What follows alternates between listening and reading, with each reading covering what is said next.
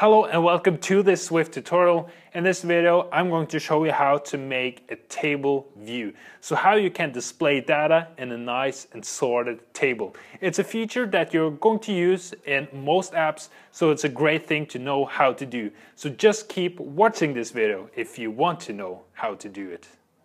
Okay, so let's see how we create a table view. And we do that by first of all creating a project it's going to be a single view application. Then click next and I'm going to call this table view. Make sure that the language is set to Swift, not Objective-C. Then click next and save it wherever you want to. I already have a file named that, but I'm just going to replace it. And then I am going to start by laying out our storyboard. So this is how our app is going to look and the only thing our app is going to feature is a table view. So just search for a table view and then drag it in. And uh, I'm just going to drag it wide here and place some constraints on it so that it looks great on all devices. And then what I'm going to do is I'm going to create a prototype cell. So this basically means that now we're going to define how each and every cell in our table view is going to look. So I'm going to say, I'm going to click on the table view and then make prototype cells equal to 1. So here we have our first prototype cell. Just click on it and you will be presented with this.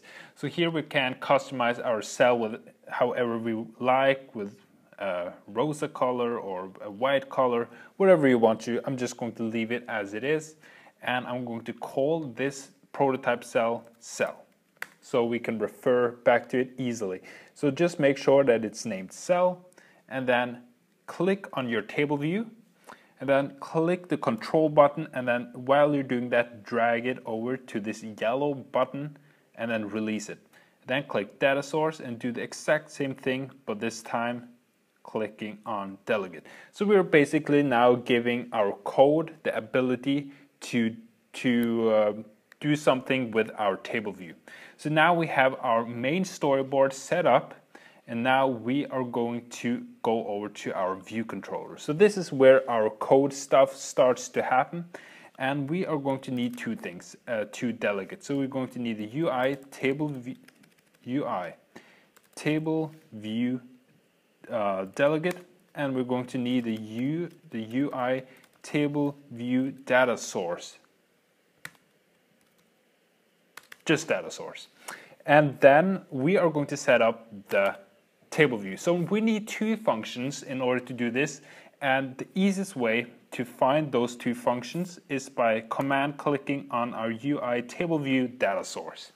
And then I'm just going to go command F and search for number of rows and we are going to need the two functions that look like this. So I would encourage you to just search for number of rows and then find these two functions right here. Just make sure that you don't take this one, but that it's this one right here. Then we're going to go back and we're going to paste them in and remove all fluff that is around them so that we're just left with these two and then we are going to create these. Now what this means, what we're going to return here is the number of rows that we want in our table view. So this, so that we have something to populate our table view with, we're going to create an array and let's say this is a grocery list. So I'm just going to say list and then I'm going to create an array with all the things that I need. So I need milk, I need honey, and I need uh, bread, I need um, tacos, and I need tomatoes. No, I, do, I, I, need, uh, let's see, I need tomatoes. That's how it's written, right? The reason I was thinking about writing something else was that I wasn't sure if it's that way, but I think it's that way. Now we are going to return the number of rows that we want in our list. And we do that by saying return and then just list dot count. So we want the number of rows to be equal to the amount of items that we have right here. Then we are going to populate our table cells and we do that by creating a cell. So here we are going to define what the content is going to be in each cell. So what we're going to do is we're going to create a cell, which is going to be a UI table view cell. And then we're going to define the style, which is going to be UI table view cell style dot default. And here we have to remember the identifier that we gave our prototype cell. I gave mine the name cell and you probably did as well. So just write cell in here. Then we are going to give the cell some text. So we're going to say text label dot text is equal to list.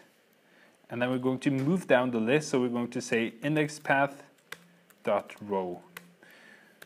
And then we're just going to return our cell. Return, just like that.